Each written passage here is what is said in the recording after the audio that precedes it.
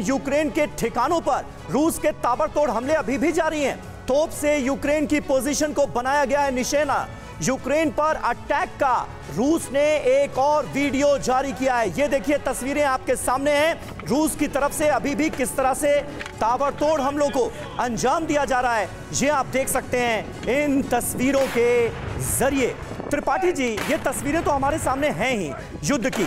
लेकिन साथ ही साथ, क्योंकि प्रधानमंत्री नरेंद्र मोदी यूरोप दौरे पर हैं, और देखिए कितनी समझदारी की, क्या बड़प्पन की बात जो उनकी तरफ़ से कही गई, वो ये कि देखिए, इस युद्ध में किसी की जीत नहीं होगी, लेकिन नुकसान पूरी दुनिया का होगा। ये समझदारी की बातें जो हैं, ये यूरोपीय मुल्कों की तरफ़ से क्यों नहीं की जा रही, ताकि किसी तरह से इस युद्ध को शांत किया जाए और पूरे रीजन में शांति स्थापित हो सके? देखिए, यूरोपियन मुल्क इसलिए नहीं कर रहे हैं कि उनके उसके दो कारण है। एक तो युद्धोन्माद यूरोप में, पूरे यूरोप में ऐसा चला हुआ है कि नहीं नहीं हमें रूस को ख़त्म करना है। दूसरी चीज़ ये है कि इसमें अमेरिका का जो हाथ है वो सबसे बड़ा है और अमेरिकन डिफेंस प्रोडक्शन इंडस्ट्री जो है उसको फ़ायदा हो रहा है।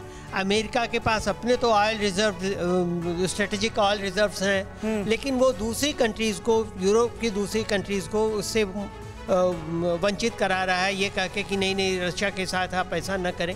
रशिया को को एम्बार्गो करें रशिया को तो ये सब लेकिन चीज़ें लेकिन सर फ़ायदा तो हो रहा है लेकिन बड़ा नुकसान पूरी दुनिया को भी तो सर हो रहा है इससे तो इनकार नहीं किया जा सकता। थोड़ी देर पहले भविष्यवाणी का ज़िक्र हो रहा था। अभी की स्थिति तो ये है कि खाद्यान्न संकट और आर्थिक तौर पर बड़े बड़े देशों को नुकसान इस युद्ध की वजह से। आज की सच्चाई तो कम से कम यही है।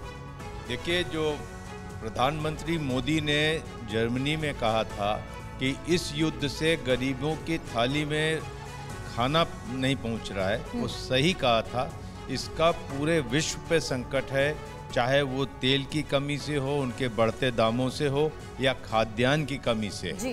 तो युद्ध जो है ये युद्ध खास करके पूरी दुनिया में इसने अपनी छाया डाली है।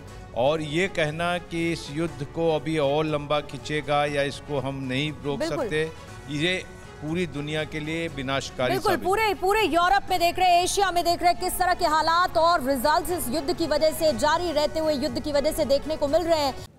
वर्ल्ड इम्यूनाइजेशन वीक पर टीवी नाइन नेटवर्क और जीएसके एक खास इनिशिएटिव ला रहा है जिसमें हम वैक्सीनेशन की अहमियत के बारे में बात करेंगे और जानेंगे कि कैसे बच्चे से लेकर बड़ों तक के लिए वैक्सीनेशन न सिर्फ़ एक सुरक्षा कवच है बल्कि लंबी और स्वस्थ ज़िंदगी की सौगात भी देती है।